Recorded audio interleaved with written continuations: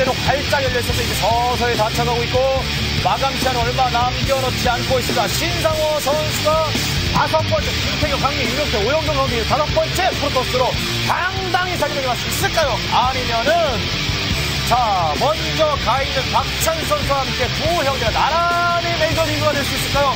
박명수 선수와 신상호 선수의 경기가 바로 블루스톰에서 펼쳐지겠습니다.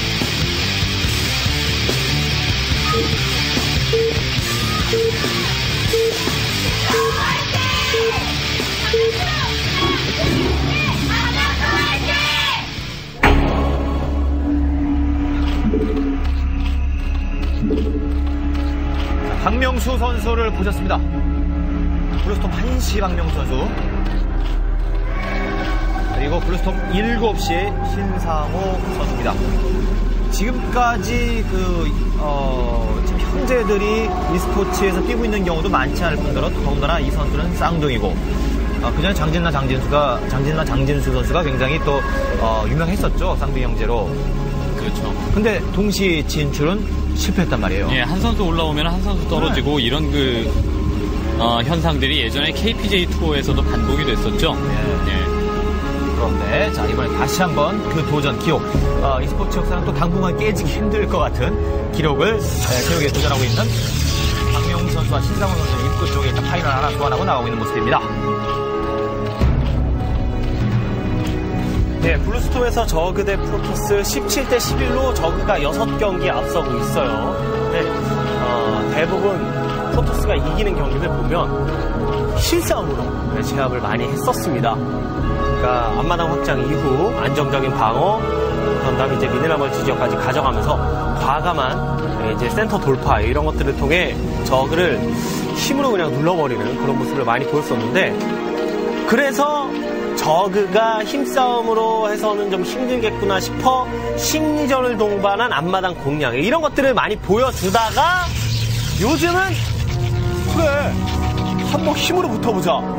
라는 생각 하에 진짜 아예 그냥 대놓고 확장 확장 물량 드론 근데 저그가 많이 이겼어요 야 동시 두 군데 한 곳은 파일럿 한 곳은 프로브가 네. 배처리 펴지는 것을 막아보고 있는 상황이 되겠습니다. 자 그래서 삐딱하게 배처리를 펴고 있는 박명수 선수 바로 취소. 어차피 3 hatchery 갈 거야 라는 건데 그럼에도 불구하고 앞마당에다가 pylon 지어놓고 그 다음에 이제 미네랄과 확장기지 못 먹게 만드는 이런 플레이는 굉장히 좋았습니다. 예, 그럼 예. 또 다른 건물도 아닌 바로 이것을 가장 먼저 소환하네요. nexus. 자, 이거, 예. 이제 spawning pool. 예, 앞마당을 훼방 놓을 때는 그 미네랄에도 그 드론이 올라가서 먹는 그런 경우들이 많았었는데 예, 그것조차 못하게 했으니까 신상호 선수 출발이 좋은 거죠. 예. 좋은 겁니다 확실히 미네랄 multi 지역에 hatchery가 또 지어졌으면은 뭐 저그 입장에서 뭐 괜찮아 상관없어 그냥 뭐 앞마당에 hatchery 지어지나 미네랄이 지어지나 일단 드론 붙이면 당분간 미네랄만 먹을 거니까 어, 미네랄은 충분히 수급되니까 이런 생각을 하기 쉬운데 두 군데 다 견제하면서 어쨌든 예, 박명수 선수를 조금 흔드는 데 성공했고 정찰이 빨랐었기 때문에 맞춰가기도 지금 되게 편해요 예. 자, 뭐 포즈나 이런 거 말고, 어, 게이트웨이 먼저 소환하고 있는 박명수 선수 함께 가요 쌍둥이 함께 조지명식. 예, 오는 27일 다음 주 목요일 일주일 후가 되겠습니다. 여러분 많은 네, 기대해 주시기 바라고요 예. 자, 이제 spawning pool 완성되고 larva 변태 들어갔습니다. 그리고 보지. 예, 그리고 이제 신상호 선수는 이 맵에서 마재윤 선수와 경기를 했었는데 예, 그때 이제 경기를 잘 만들었습니다만은 마재윤 선수의 어떤 폭탄 drop 한 번의 성공과 그다음에 아, 미네랄 확장 기지 쪽에서의 수비가 성공을 하면서 아쉽게 경기를 놓친 바가 있습니다.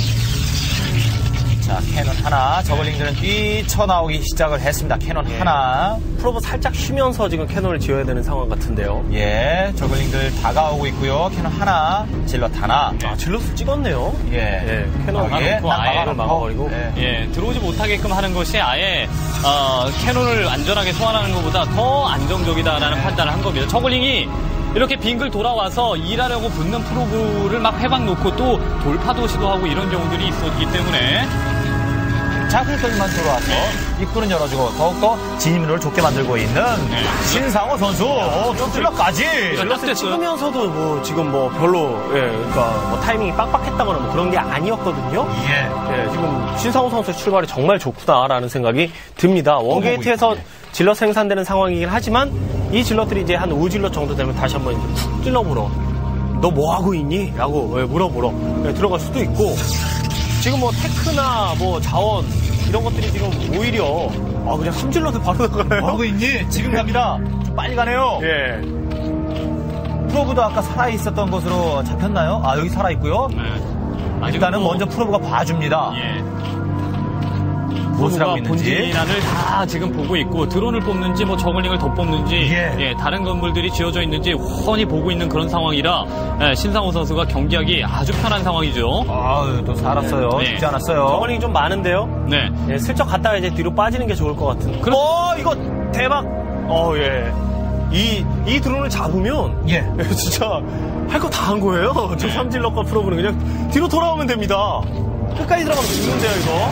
자, 그래서 그냥, 예, 소모를 선택하고 있는 신상호 선수. 그래서 제대로 살려보고 있는 신상호 선수. 예, 프로브가 빙글빙글 돌면서 상대방의 저글링 위치를 완벽하게 보지는 못했습니다. 쫓아다니는 저글링 하나만 번 봤었거든요. 그러니까 예, 들어왔다가 앞마당 지역에 갔을 때 슬쩍 스쳤었는데요, 분명히 예. 시야는. 그러니까 뒤로 빼고 그때 이제 아, zealot들이 또 zealot들의 어떤 그 이동이라든가 이런 것들 신경 쓰다 보니까 정확하게 파악을 못한 것 같아요. 그러니까 너무 깊숙이 들어왔었죠. 자, hydralisk den을 보고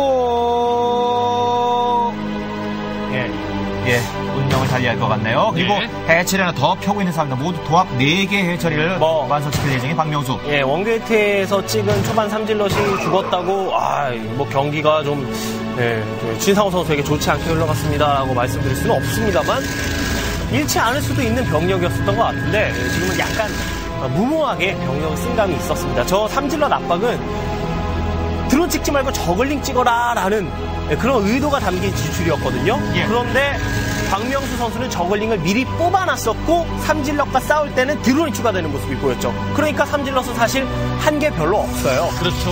그러니까 상대방의 본질까지 한번 들어가 봤다라는 것만 만족을 하면 될 예. 것 같습니다. 예. 예, 반대로 이제 박명수 선수는 드론 충분히 지금 확보할